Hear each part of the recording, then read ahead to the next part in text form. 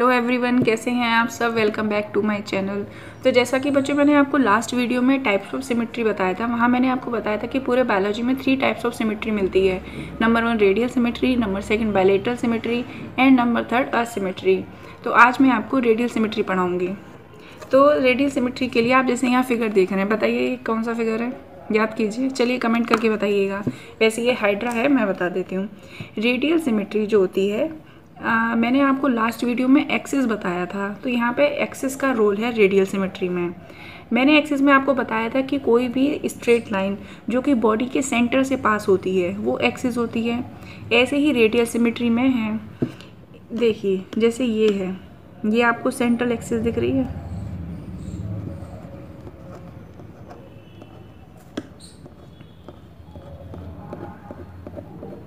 ये है central axis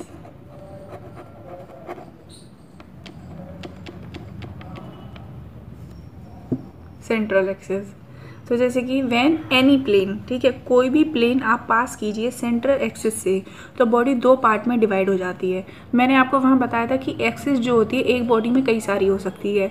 तो याद रखिएगा एक्सिस एक बॉडी में हो तो कई सारी सकती हैं, लेकिन वो बॉडी को दो बराबर भागों में डिवाइड करनी चाहिए। अब देखिए, जैसे कि ये है, अब मैं एक यहाँ से ऐसे, ठीक है, एक बार मैं हाइड्रा को ऐसे कट कर सकती हूँ। एक बार मैं हाइड्रा को ऐसे कर सकती हूँ और एक बार मैं हाइड्रा को ऐसे कर सकती हूँ। तो ये होती है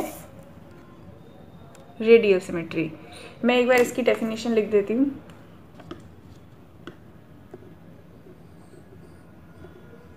When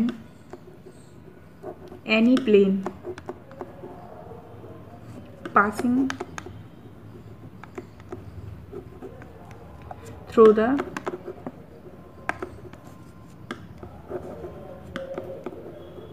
when any plane passing through the center axis शब्दों पे ध्यान दीजिएगा अभी रेडियल सिमेट्री क्लियर हो जाएगा when any plane passing through the center axis of the body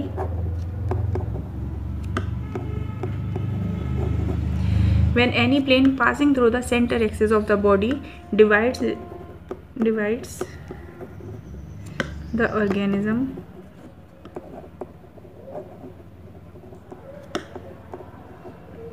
Into two identical half identical समझ रहे हैं ना? मतलब कि वो काटने के बाद एक जैसा दिखना चाहिए। ये नहीं कि हमने काट दिया, अब हाइड्रा की शक्ल ही बदल गई। रेडियल सिमेट्री में सेंटर एक्सिस का रोल है। ये देखिए ये दिख रही है ना सेंट्रल एक्सिस तो यहीं से हमें काटना है। वैन एनी प्लेन कोई भी प्लेन पास कर दीजिए सेंटर एक्सिस से, और बॉडी दो अपने इक्वल हाफ़ में डिवाइड हो जाए आइडेंटिकल जैसा ये, वैसा ये। तो वो होती है रेडियल सिमेट्री अब बच्चों, सोच के बताइए कि रेडियल सिमेट्री कहाँ कहाँ मिलती है हमें? एग्ज़ाम्पल मैं बताती हूँ।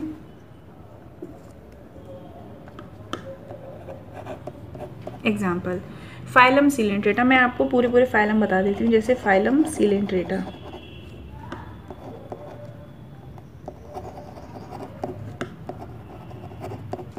फाइलम सिलेंट्रेटा में रेडियल सिमेट्री मिलती है। फाइलम टीनोफोरा में रेडियल सिमेट्री मिलती है। टीनोफोरा एक मेजर फाइला नहीं है। सिलेंट्रेटा एक मेजर फाइला याद रखिएगा। टीनोफोरा एक माइनर फाइला है। लेकिन सिलेंट्रेटा की और टीनोफोरा की कई सारी जो ऐसी कैरेक्टर हैं जो कि मिलते हैं। जैसे फाइलम सिलेंट्रेटा, फाइलम टीनोफोरा लेकिन इसमें एक मज़ेदार बात ये है, नोट करके लिखेगा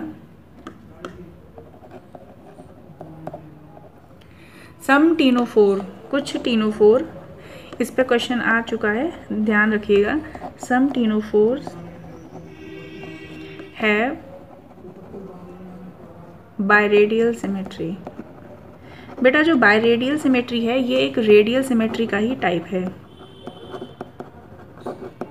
बायरेडियल सिमेट्री याद रखिएगा बायरेडियल कभी कभी क्वेश्चन आ सकता है कि क्या कहते हैं, टीनो कुछ, क्या कुछ टीनोफोर्स में बायरेडियल सिमेट्री भी होती है? तो यस सम टीनोफोर्स है बायरेडियल सिमेट्री अब और कौन कौन से ऐसे एग्ज़ाम्पल हैं जिनमें बाय रेडियल सिमेट्री होती है? ये था नंबर वन थर्ड अब आ जाइए।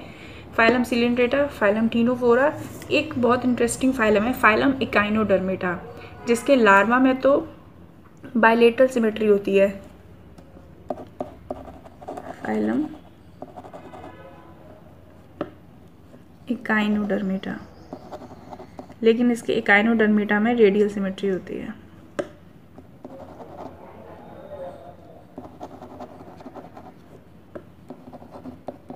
जिसे हम पेंटा रेडियल सिमेट्री भी बोलते हैं। Penta radial symmetry. ठीक है? अब जैसे मान लीजिए कभी किसी क्वेश्चन में ये मेंशन ना हो कि ये लार्वा है, या एडल्ट है, यही आ जाए कि फाइलम एकाइनोडर्मेटा में कौन सी सिमेट्री होती है तो आप रेडियल सिमेट्री लगाइएगा, क्योंकि जो मेजोरिटी होती है वो एडल्ट को लेकर के होती है। ठीक है? एकाइनोडर्मेटा में रेडियल सिमेट्री होती है। अब जैसे मैं पोरीफेरा में आ जाऊँ, वैसे तो मोस्टली स्पॉन्जेस जो होते हैं, वो असिमेट्रिकल होते हैं, लेकिन सिंगल लिकोसोलिनिया की अगर बात की जाए, कैसी? सिंगल याद कीजिए, लिको सिंगल लिकोसोलिनिया की बात करूँ तो सिंगल लिकोसोलिनिया में भी रेडियल सिमेट्री होती है लिकोसोलिनिया और यहाँ पे फाइला मिकाइनोट्रापिटा में यहाँ लिख लीजिए ब्रैकेट में एडल्ट और लास्ट जो होता है, जिसमें रेडियल सिमेट्री मिलती है, वो भी एक पोरीफेरा का ही एग्ज़ाम्पल है, जिसे हम बोलते हैं यूप्लेक्टेला यूप्लेक्टेला ये पोरीफेरन है दोनों। पोरीफेरस ठीक है। ये हमारा डायग्राम था हाइड्रा का। तो उम्मीद करती हूँ आपको समझ आ गया होगा रेडियल सिमेट्री में सेंटर एक्सिस से ही हमें देखना है कि वो बॉडी कितने पार्ट में डिवाइड हो जा रही है अपने, लेकिन वो पार्ट दोनों आइडेंटिकल होने चाहिए।